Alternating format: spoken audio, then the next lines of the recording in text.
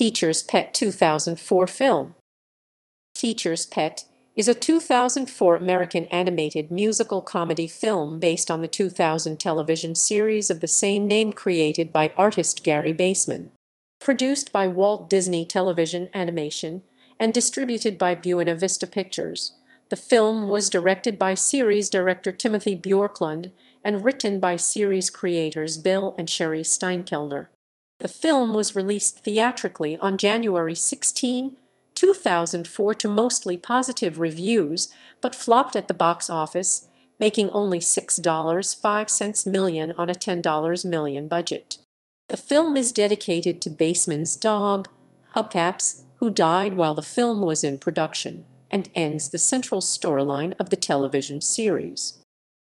Plot Spot is a dog who wants nothing more than to be a boy, a fantasy he has been fulfilling for one year, dressing as a boy named Scott, Leadready Roman II, and going to school with his master Leonard Helperman.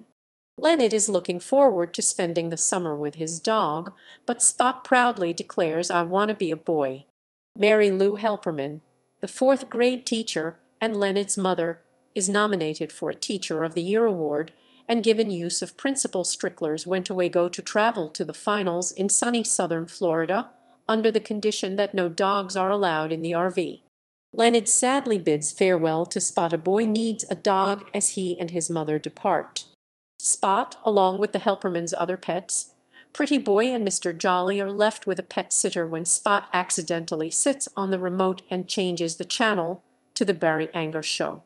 Anger's special guest is a wacko named Dr. Ivan Crank, who claims he can turn animals into human beings, who happens to be located in sunny southern Florida. Believing it to be fate, Spot chases down the RV. Spot and Leonard meet up at a gas station. Through many quick costume changes, Spot fools Mrs. Helperman into believing that he is Scott Leadready Roman II and that his family, en route to sunny southern Florida, had to return home, but he could still go with the Helpermans. Spot, Leonard, and Mrs. Helperman continue on their way to Florida, singing through all 50 states a whole bunch of world. Meanwhile, Pretty Boy and Mr. Jolly, back at home, See another episode of Barry Anger in which Anger reveals that Crank cannot turn animals into people, but rather into terrifying mutant creatures. They decide that they must track down Spot and stop him from being turned into a monster, but Mr. Jolly is afraid to leave the house. Pretty Boy assures him that they can be tough despite their size small but mighty. Upon arriving in Florida, Mrs. Helperman goes directly to the Teacher of the Year finals and Leonard is all ready to play fetch, but Spot has other ideas. He reveals to Leonard the real reason he came to Florida, to become a real boy. Leonard is skeptical, but accompanies Spot to Crank's lab, where Crank has just unsuccessfully tried to turn a frog human. He is ready to destroy his machine when Spot and Leonard show up. Spot tells him that his machine can't work with a frog because it's a lower life form, like his other two creatures, Dennis an alligator man and Adele a mosquito girl, and that he needs a mammal like a dog. Crank agrees to turn Spot human and gives him a nickel as payment for being his test subject. Crank explains that throughout his entire life, people have mocked his ideas I, Ivan Crank, and turns the machine on Spot. Spot wakes up to find that he is indeed human, but not a boy as he expected, but rather a fully grown man he had forgotten to factor in dog time. Still, he is happy to be human, but the happiness quickly fades when Crank tells him that he will have to travel around with him forever to prove that Crank is not a wacko. Crank locks Leonard and Scott up, and hope seems lost until Ian, Crank's nephew and Leonard and Spot's classmate, shows up and sets them free. Crank grounds Ian and sends Dennis and Adele off to find his dog man. Leonard and Scott, meanwhile, are hungry, and Scott's clothes from when he was a dog disguised as a boy do not fit his adult body. They see a sign advertising a $100 reward for a lost dog. Scott uses the twilight bark to locate the lost dog, along with her four puppies that had been born while she was lost. This prompts the dog's owner to give them $500 as they brought back five dogs. Now rolling in money, Leonard and Scott enjoy a day on the town. The two lose track of time, but manage to make it back to the Wentawego just in time for dinner, forgetting that in place of Scott Leadready Roman II is a stranger whom Mrs. Helperman will not recognize. Scott and Leonard quickly make up a story that this new person is Scott Manley Manning. Scott Leadready Roman II had to go home, and he helped him out. Mrs. Helperman invites Scott in for coffee and soon begins to fall for him. Scott presents an idea to Leonard as to how they can stay together. He will marry Leonard's mother, and they'll all be able to live together. Leonard is not okay with this. Scott is his dog, not his dad. Scott tells him he's not his dog anymore. Finally, fed up with Scott's stubbornness, Leonard disowns Scott as his dog, and he confiscates Scott's collar and tells Scott to leave him and his mother alone. Scott storms off, leaving everyone else lamenting the loss, Mary Lou of her manly Manning man, Leonard of his dog, Crank of his creation, and Dennis and Adele, along with Pretty Boy and Jolly, search for Spot I'm moving on. Pretty Boy and Jolly finally make it to Florida, and Leonard tells them the whole story. He comes to the conclusion that the only way he and Scott can be together is for him to go to Crank and have him turn him into a dog. A boy needs a dog reprise. Scott arrives moments after Leonard leaves and after getting over the shock of seeing Spot as a human, Pretty Boy and Jolly tell him that Leonard has gone to Crank's lab.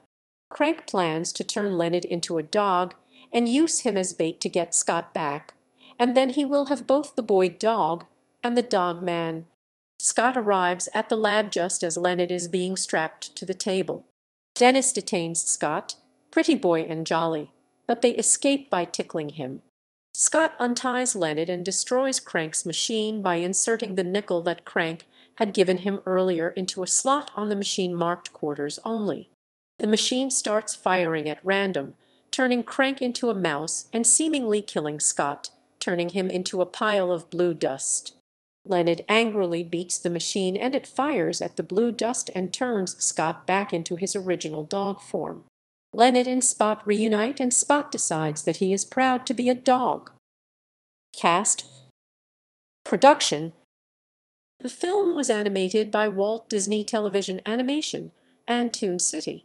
Co-creator of the show Cheri Steinkellner co-wrote the movie and the songs for the movie. On its story, instead of telling the original Pinocchio story, the filmmakers thought of putting a little twist on the tale, which relates to the theme of the movie be careful what you wish for. Nathan Lane returned to reprise his role as Spot Helperman slash Scott Leadready Roman II after working on the Mel Brooks Broadway musical The Producers. The movie itself serves as the series finale to end the entire series. Musical numbers I Wanna Be a Boy Spot, Leonard Company, A. Company, A. Company, A. Company, A. Company, Company. A Boy Needs a Dog Leonard, Spot, A Whole Bunch of World Mary Lou, Leonard, Scott, Small but Mighty Pretty Boy, Mr. Jolly, Jolly, Jolly. I, Ivan Crank Crank. I'm moving on Mary Lou Scott, Leonard, Crank, Dennis, Adele, Pretty Boy, Mr. Jolly, Company, Company. A boy needs a dog reprise Scott. Leonard. Proud to be a dog spot. Leonard Company. Company. Company. Teacher's Pet and credits Christy Carlson Romano. Release Teacher's Pet was originally planned for a September 5, 2003 release before getting rescheduled for February 2004. The film was then moved up to January 16, 2004. About a week before release, Toon Disney aired a four-hour marathon of episodes for viewers to catch up on the series. Box office Over its four-day opening weekend, the film made $3.06 million in 2027 theaters, $17.77 per theater, making it one of the lowest openings in history. By the end of its run, the film had grossed $6.05 million critical reception On Rotten Tomatoes, the film holds an approval rating of 76% based on 74 reviews, with an average rating of 6.52/19. The site's critics' consensus reads, despite its short running time, Teacher's Pet is a witty and irreverent family film. On Metacritic, which uses a weighted average, the film has a score of 74 out of 100, based on 26 critics, indicating generally favorable reviews. Audiences polled by CinemaScore gave the film an average grade of B on and a plus to F scale. Entertainment Weekly gave the film a B. Google Play gave the film 3.9 out of 5 stars.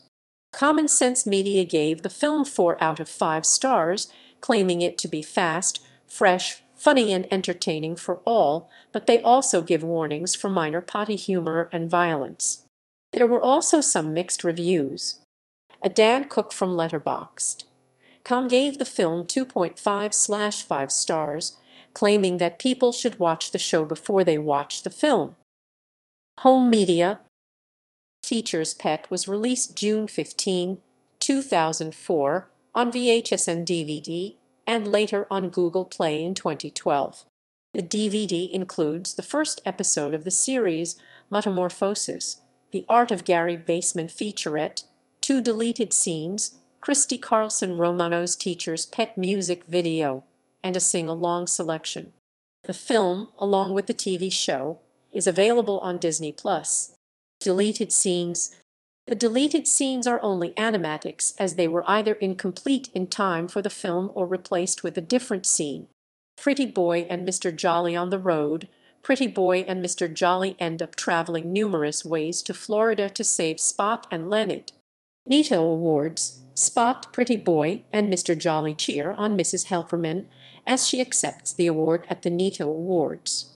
Pretty Boy claims that they can't get home on the RV since they are supposed to be home. Mrs. Helperman doesn't realize that they are in Florida also as Spot quickly figures out a way to get them home.